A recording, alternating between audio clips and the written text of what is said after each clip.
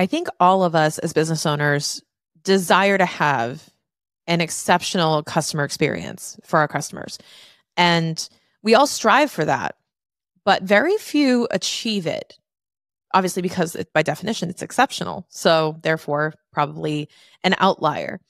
But I think that we miss the mark and we live below our potential of customer service a lot of the times in the interest of processes, efficiencies, and the way it's usually done. So I want to shatter a few myths here about how to create an exceptional customer experience. But I also want to make it clear that you don't have to sacrifice, you know, all of your processes and all of your st- standardization and structure and scalability in the name of customer service. So that we do this dance where we say everything ne- either needs to be automated and efficient and driven by systems, but then you kind of lose a little bit of that touch. You lose a little bit of that humanity. You lose the the customer service special feeling of customization and feeling like they are unique. And it becomes challenging. And on the flip side, you may have a really high touch service that's really customized, but then that becomes unscalable so, how do we dance in between these two things? How do we balance it out in the middle? And I'm going to share some tips with you that I think will reframe how you can implement a better customer service experience without sacrificing that scalability. So, let's dive into that.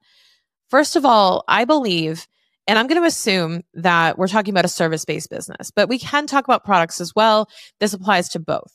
But the universal example is typically a service because of the ability to have customer service, customer experiences, and to create more flexibility with the customer experience with services and to be able to adapt to them. So I'm going to use that as an example, but you can absolutely apply this to products. So let's talk about the first thing that I always recommend, which is ask yourself when you sign on a client, ask yourself how you can get them a quick win. And by a quick win, I mean instant gratification or a short term minor success. So, what is the first milestone? What is the first thing that they're going to be able to accomplish with you? As opposed to maybe investing a lot of time into a bigger result, what can you do that will make them so happy they hired you as fast as possible? And I don't mean cutting corners. I don't mean cheating your way to this. I'm figuring out, okay, what is the quickest win we can get? And I'll use our example. So, most often, when someone comes in for a CFO service, there's typically one thing that's like really itching, like really annoying them. And in some cases, it might be a tax issue. Depending on the time of year we're in, it could be a tax issue, it could be cash flow crunches. We might identify that there's like one particular priority that they want to focus on.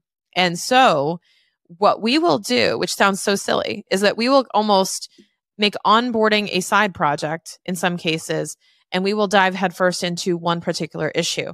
So we will spend a couple of weeks. In this case, I have a client that I'm onboarding right now that we are focused on getting their S corp set up with a retroactive election to 2023 January 1. And but what I mean by that is we are trying to set them up for their S corp so that they can use the S corp for all of 2023. So to do that, we need to do that first. That is a top priority. But it will save them between 20 and 30 grand in taxes. So we're like, yeah, F onboarding. Let's get this done first for them. And we can get this done in a week. Given the right resources, we could get this done in a week, maybe two weeks. So the key here is what is the quick win? What is the quick little punch that you can get for them that makes them go, oh my God, I'm so happy that I hired you guys. And I understand that transformation takes a while. A lot of things take a while but identify an element of what you do, whether it's, you know, producing something in a quick deliverable for them or summarizing what you've learned about them, giving them a deliverable that is tangible, but also valuable. Don't do it for the sake of doing it. But how can you deliver them a quick win of value in a short period of time and basically have them so grateful they hired you and build that momentum? So, number one is quick wins. Number two is you have to listen and anticipate the problems and inconveniences your customer will face. So let's talk about like hospitality type services, things like that too. I always think of exceptional customer service. I go to like Ritz Carlton, I go to certain restaurants, I go to certain service based businesses because that's the most memorable for me as a customer. And I think about what are the anticipated problems or inconveniences that they will experience. Uh, I'm going to use the most like obvious and this is not exceptional at this point but it just came to me which is when you're eating at dinner and they bring over like the warm wet towel to wipe your hands off with i always go oh that's nice you know i always think about that and say oh that's a nice touch i know a lot of restaurants do that now but what you have to keep in mind is like what are the ways that you could inter you could insert into your process something that will make them go oh that's a nice touch you know and this kind of goes along with I have another one with attention to detail after this, but I think attention to detail and anticipating problems and inconveniences is key because you don't know like your solutions create other problems, if you will. Let's look at this example. Let's say you are running an Airbnb in in a nice destination and you realize that your Airbnb is kind of elevated on a mountaintop. You got great views, right? But it's a good solid like mile and a half down the mountain to get to the grocery store. So, could you in your service offer like a daily delivery of groceries from the store? Like one of your concierges will will drive down there, pick up what you need and drive it up to the house. Or could you offer some type of service where they will where you'll take them down or drive them around a little bit that you get, you know, X number of hours of a van for a day when you're staying in this house. What I'm saying is that they're anticipating that, okay, we have this core offer, which is to use the home, but it creates a problem in that the person will have to rent a car or they will have to, you know, find a means of transportation to get anything. They will also have to grocery shop, you know, and it won't be walkable. And they'll have to be able to bring stuff home. How could we eliminate that problem for them? And then you will become the preferred provider because you just made it so convenient. And we have to start anticipating what are the problems that this, that our customer will have and how can we get around it, get ahead of it and address it head on. So anticipating problems and knowing that there will be a you know a challenge in their way and how do you clear as many challenges out of the way as possible so kind of that I've mentioned this on one of our previous episodes about the what could go wrongs that I used to do in auditing days. And we would have these things called what could go wrong. We, were, we would have to think of every thing that could get in the way of success, everything that could get in the way of success for our clients in terms of their transactions. But I want you to think about this for your clients in terms of their experience. Like what could get in the way? What could go sour? What could go sideways or wrong? How do you account for that? And how do you get over that as a business? Now, the next couple that I'm going to go through are specifically going to be challenged for how impractical they may be. So I'm going to I'm going to dive into these, but I want to address the thing I mentioned at the front of the episode which is that these things are not designed to be scalable. It's not designed to be scalable. It's designed to be memorable. And I think memorable precedes scalable because you're never going to be at the point where you need to scale until you can create something memorable and and be able to grow it. So I think instead of focusing on scaling, this is my biggest message to you entrepreneurs is to instead of focus on scaling so much or using the word scaling to describe what you're doing, focus on growing your presence, growing your brand, growing your message, growing your customer base, whatever it may be, growing your bottom line. And then worry about scaling it. Now, you do want to be building processes, yes. But I think that there's a way to create a scalable version of what you're doing and be able to deliver on it. So the next couple that I want to go through are do the unexpected and my favorite piece of advice, which I have to shout out to Nick Harder for giving me. Nick gave me this advice three years ago, and it has sat with me ever since. Everything I do, I think of this. And it's do what isn't scalable until it isn't scalable. I love that. And this is something that counters a lot of what entrepreneurs are told. And they say, do the things that are scalable. Yes, but not too soon. Because while it's just you, this is your opportunity to build a relationship, to build a brand, to be one on one, to be in the thick of it with your customer and to listen. And if you are already outsourcing some of these functions, if you're already trying to create processes around this where you can step away, then you're going to be missing out on a lot of the things that you need to be hearing, in my opinion. So doing what isn't scalable until it isn't scalable. I'm going to I'm going to tell you one thing that I do or multiple things that I do where this applies. Number 1, if you're texting me right now and my link is going to be in the show notes. If you're texting me, my number is 860 609 6374. And you can text me anything really. But if you text me the word daily, I'm sending out daily mindset tips and business strategy tips to get help get you into a CEO mindset. We're calling it the daily CFO. And you just text me the word daily and you'll be getting it. But or weekly if you want to just come on Mondays and, and get these tips with the rest of us. But we'll be texting you. And if you text me, I will text you back. It is me. It is not my team. It is not a robot. It is nothing. And it will never be those things. It will never be a robot. It will never be a robot texting you back. I promise you. If I get to the point where I need a robot to text you back, I'm not texting. Okay. Like that's the point. the point is that you're texting Shannon, not that you're texting a robot. If you want to text a robot, I'll get a chat bot or something. But the whole point of it is to create a connection. And if you're outsourcing connection, what the hell are you doing?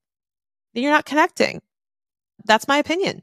So I think creating an optimal and, and ideal customer service experience means sometimes it means you got to show up. You got to be the one to connect. You got to be the one to deliver. You got to be the one on the front lines actually texting the customers. And while I don't advocate for that all the time, it's, it's so counterintuitive because I always tell my clients, like, you shouldn't be responding to every customer inquiry.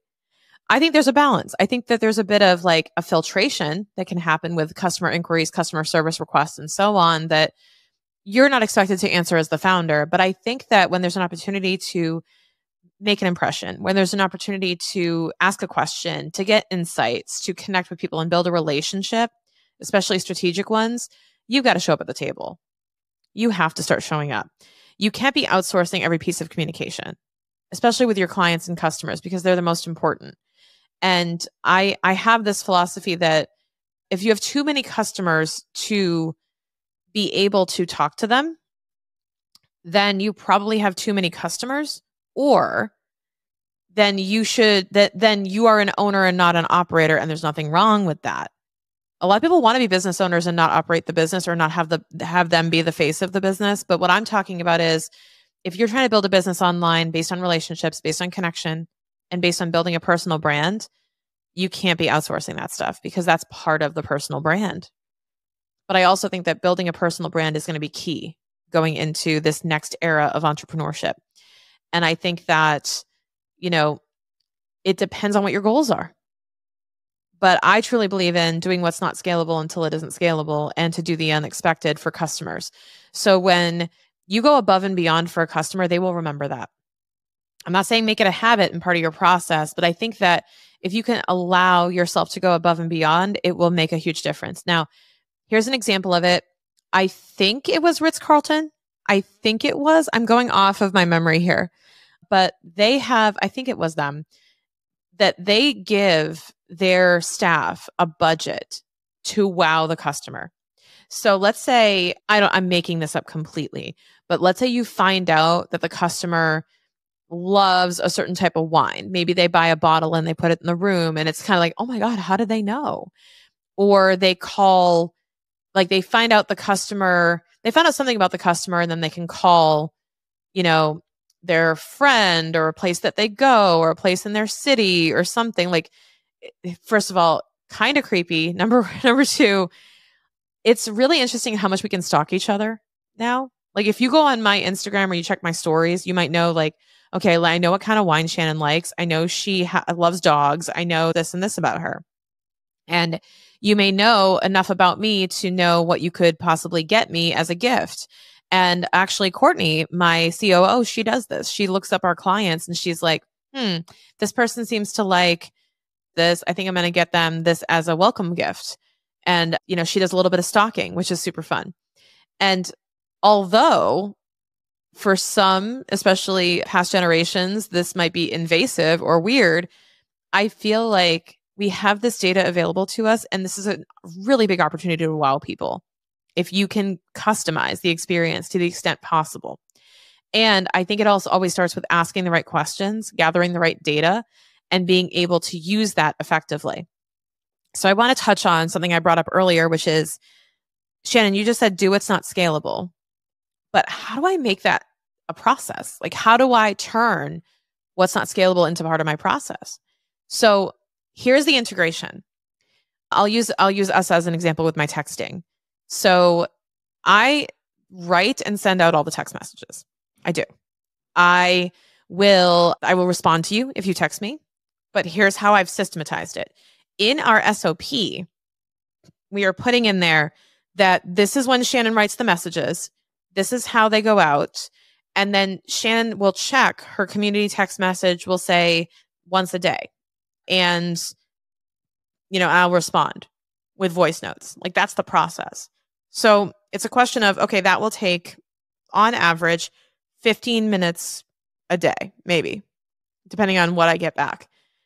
It's really not that big a deal. 15 minutes a day is nothing for me to be able to respond to stuff or, you know, it's the time. I'm not doing it at the same time, by the way, but it's the time of a bathroom break. like if you took a 10 to 15 minute bathroom break during the day and you go, instead of that, by all means, use the bathroom. I'm not saying that, but I'm saying if you took the same amount of time and you added one mental slot into your day for an extra bathroom break, that's all the time you're adding. So I, I want you to understand the minutia and how low of a time commitment this is to do something like that. And the point being, you can do what's not scalable. And if it does become hours and hours a day, now you have another system at play. Like now you probably have an offer. Now you probably have something that you can grow into if y'all start texting me every single day and it becomes unbearable where I'm spending two hours a day responding to text messages, well, guess what? That's now going to be a paid service. so that's exactly Nick's advice was do not do what's not scalable until it's not scalable. And this scenario is a perfect example because that would be the point at which it's not scalable. Because now I will have to create a paid offer. Now I'll have to allocate time. Now my team will have to support me in it but that would be the indicator it's not scalable anymore. So until you hit that point, I think you, I want you to stop planning ahead for what's going to go wrong if you continue to do this and you try to wow your customer. And I want you to instead think of how can I wow my customer to the point where I literally can't anymore? Like, what will that point look like? How do I support them until then? And what is the positive impact I want to have happen? What does success look like if I do this? Because I think if you can plan it out right and you set the intention, it can be very successful. So I would say chase an exceptional customer experience. By all means, do not people please, do not scope creep your way out of this. Do not, that's not what I'm saying. I'm saying create and wow your customer experience to the nth degree. So you're creating something memorable that is worth telling people about.